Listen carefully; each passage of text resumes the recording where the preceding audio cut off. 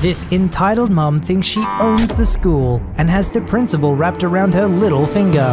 This teacher's impossible mission is to stand up to this EM and make sure she doesn't get fired for something that she didn't do. Happy birthday if today's your birthday and on with the show. In the cast, EM is entitled mother, EK embarrassed kid, me 10 months on the job, TF teacher and friend, D dad of another student, P principal, aka my boss, newly hired, roughly 3 months on the job, MG maintenance guy, has been working in the school system for 25 plus years. A little background. I ran 2 to 3 book fairs a year as a way to raise money as the school has stopped providing funds for any new books, materials, etc. This story takes place rather early on in my career, during my second book fair that I had run. I just received a shipment and was pulling the cases. Big, huge metal cabinets that opened to the display cases during the sale. Into the library chatting with the delivery guy. I sign the delivery papers and wish him a good weekend. I did not realize until my seventh book fair that he was hardcore flirting. But that's a different thread. So, kids milling about all excited because they don't know the book fair is opening Monday, and the cases are here, and it's Friday afternoon, etc. Note that most of this happened in a very short 10 minute span. Note EM is on her phone throughout the entire exchange, texting or typing, between every word and glancing up. Teacher and friend, EM and EK, are coming towards me as I push the last of the cases into the library so that I can start the setup. TF has a look of disdain on her face, and this was understandable as this EM and EK are well known and not all that well liked for a variety of reasons. Hey OP, EK and her mom were wondering if you could get in early to see the book fair since they won't be here Monday, and I was explaining to them that you aren't open yet and that the book fair would be open all next week, not just Monday, but EM looking at her phone. I can talk for myself, Miss TF. Okay, sorry, steps back and crosses her arms. She basically had it with the parent, and at this point we'd only been in that school for two months. EM huffs looking at her phone. So anyways, me and DK need to see the book fair today because we won't be here Monday. So can we just look really quick and we'll pick out what we want and then pay you next week when we get back? I'm sorry, but the book fair won't be open or even ready to look at until Monday. I just got the cases in boxes and haven't even had the chance to get them open, let alone the fair set up. But we will be open all of next week, so you can come see us Tuesday. EM's still looking at her phone. That won't work for us. We need to see it all now. She, EK, wants to see it before all the good stuff is gone. I dropped down to EK's level to talk to her, since EM is obviously not going to be much help. Hey EK, remember how I came to your class and talked to you guys about what the book fair was and the rules for the book fair? Yeah? Okay, do you remember me telling you when it would be open and that the only times that anyone could shop was when we were open or your class was coming down for their private shopping time? Yeah, but my mom says that we can go anytime and that those rules are just so that you don't have to do extra work. I smile and stand back up. I'm sorry EM, but you both will have to wait until the book fair is open. And it is not open right now. It will open Monday at 7.30am. EM still on the phone. Um, that doesn't work for me. She then proceeds to try to push past me and into the library, grabbing her EK by the arm and dragging her with her.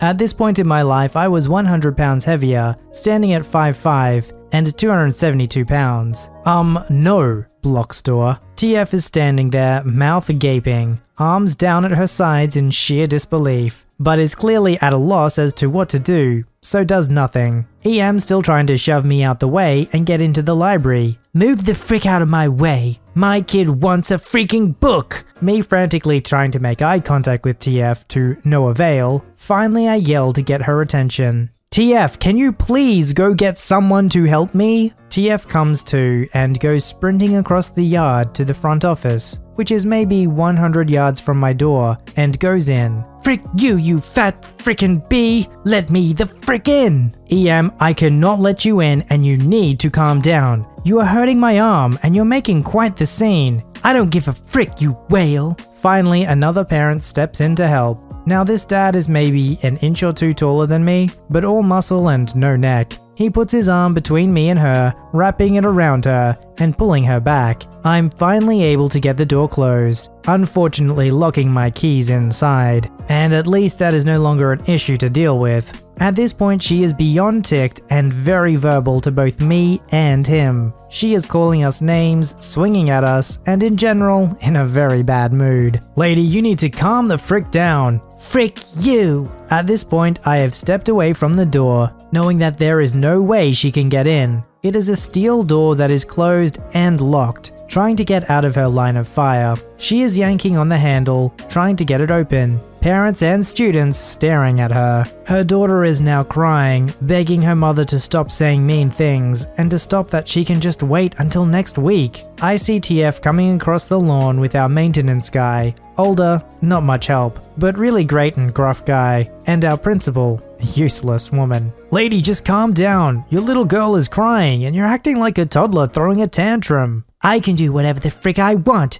This bee shoved me out of her way, slammed the door in my hand, and refuses to let me in. And then she started freaking kicking me. At this point, TF and D all start laughing because they know me, and they know I would never, never do any of that stuff. Our lovely principal, on the other hand. OP, you can't treat a parent that way. Why didn't you just let her in? Yeah, why the frick can't you just let me in? All I want to do is let my kid look because she wouldn't be here on Monday. She turns to P. And this bee won't let us in. Whoa, wait a second. Let me explain what's going on. Shut the frick up, whale. Just do what she says. At this point, I know that I am getting very close to losing it. I have, undiagnosed at the time, bipolar, ADHD, OCD, and severe anxiety. Add in that I am extremely introverted, and this job is the one thing that has slowly been working to bring me out of it. Literally. My dream job working in a library with kids. I'm on the brink of tears. I'm shaking, and my rage is slowly rising to the surface. OP,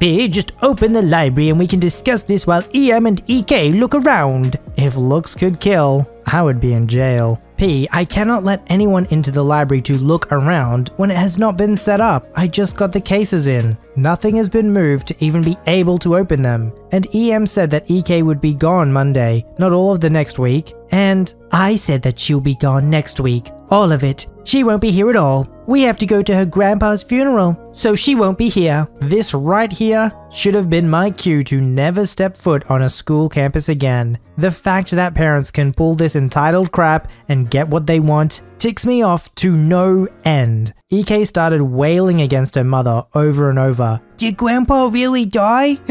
Did he? OP, let us in now. I can't. My keys are locked in. I see our maintenance guy's arm moving by his keys, but I'm not sure what he is doing. Principal to our maintenance guy. Let us in now. Now this guy is older and gruff, but one of the nicest people you'll ever meet. He was always ready to help however he could. Sorry, can't do that. Principal, a look of murder crosses her face. And why not? Misplaced my keys earlier. He smiles. No idea where they are. D, TF, MG, and I all have to refrain from laughing. I'm so sorry, EM. We will make sure that EK gets a book. I promise. And it will be at no cost to you. Um, you cannot do that. That is not how those things work. Every penny and item must be accounted for. At that statement, my mind starts flying in 50 directions, QOCD and anxiety. My shaking gets worse and I step back, putting my back against the door. We have a huge audience at this point. Students, parents. Done right, she will.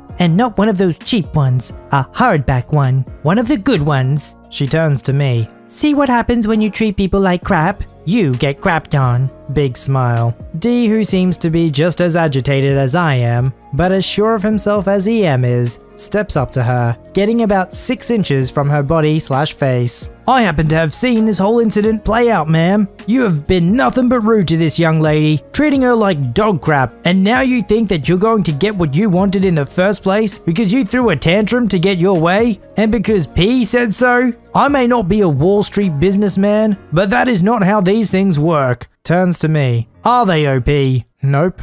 D turns back to EP. So you need to get back on your high horse and trot back home. Screw you, I'm calling the police. D laughs. The only person here that is a person and acting like one is P. She grabs EK and starts to walk away on her phone. Principal to me, Why couldn't you just let her in? Me, shaking like a leaf. It was a safety issue. It's a small library. Six massive metal cases are right inside the doorway. Stuff is everywhere because I was trying to get what I could set up before the cases got here. They could have tripped on something or bumped a case and had one of the boxes on top fall into them. It's a safety thing. And she said that they were only going to be gone Monday. I went over the rules with EK and her class, just like I did all of the classes and students. I was very polite in the beginning. You can ask TF and D. She was pushy and demanding something that I could not offer. I won't be responsible for anyone getting hurt. And I cannot give any books for free.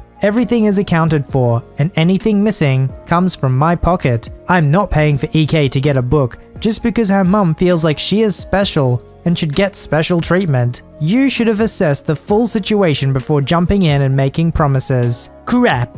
I don't do stuff just to cause problems. And we can't just let her look around and maybe open the cases for her? First, safety. Second, you'd want to do that with how she has treated one of your employees? And last, are you paying for the book? Principal rests her face in her palm and sighs. Okay, um. With EM stepping off, a lot of the audience cleared out, as it was Friday afternoon, and the school had let out 20 plus minutes prior at this point. MG excused himself, snickering as he went. TF scuttled off to her classroom, and EK is sitting on the grass plucking a blade at a time, just waiting for her mother to be done. I am wishing kids a good weekend and answering excited questions about the book fair, making sure to mention that we open Monday at 7.30am and that will be open all week, etc. EM starts to walk back over, her phone safely back in her hands. EM texting or who knows. So I've just got off the phone with the police, and they say that I can push, yes push, charges against you for what you did.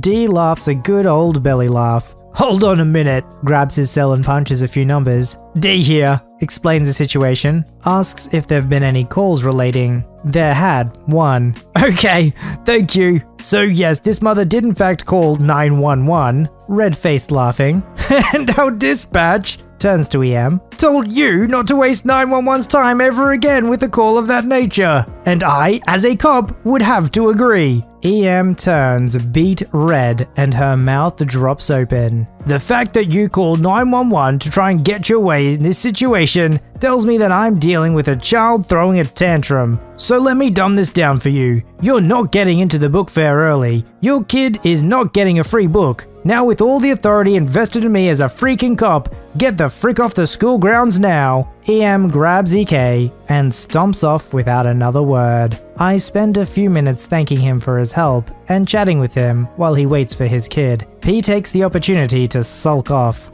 D's kiddo shows up and is super excited for the book fair, asking all kinds of questions, which I happily answer. Then I see MG slowly sauntering back my way. Would you like me to get you back in now so that you can get back to what you were doing? Smiles. Yes, please. Nice magic trick, by the way. MG jokingly. In another life, I'd like to think that I was a magician. We all laugh. D and his kiddo wish me a good weekend and head off. MG opens the door for me, and I go into my sanctuary. I drop to the floor against the door and do some crazy laugh, cry, sob shaking thing for a few minutes. Once I calmed down, I got up and began to get my library ready for the book fair. D ends up popping in several times throughout that next week, checking in to make sure that EM hasn't tried to give me any problems. P never mentions the situation again, and I never see EM again, except for glances occasionally across the yard when she picks up EK. The last day of the book fair,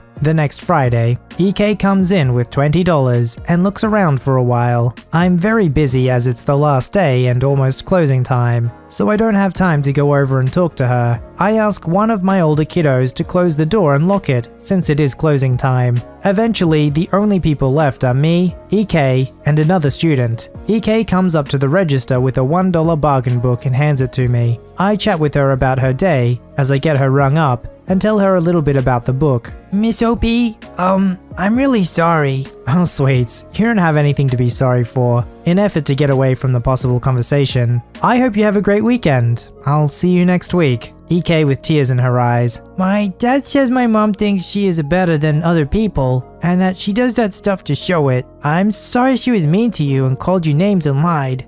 Oh, EK, it's okay. Sometimes mummies have bad days and do things they don't mean to. I am okay, and you are okay, and that's what matters. EK smiles. Can mummies have a lot of bad days?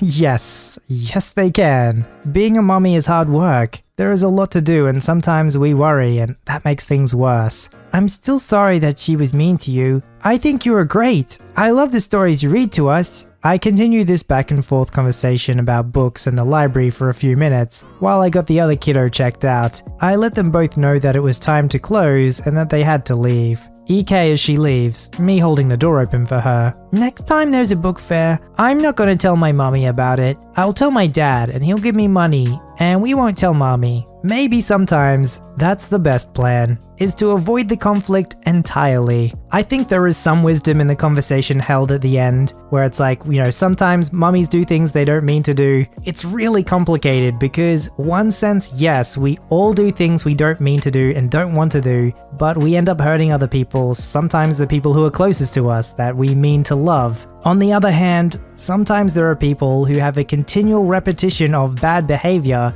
and no intention to change that behavior. One of the hardest things you're going to have to do in your life is trying to discern with those closest to you who are the ones that are genuinely trying to change and who are those that despite what they say are never going to change and inevitably continue to hurt you. The choice you have to make then is how are you going to respond to that? There's no right or wrong answer, only trade-offs.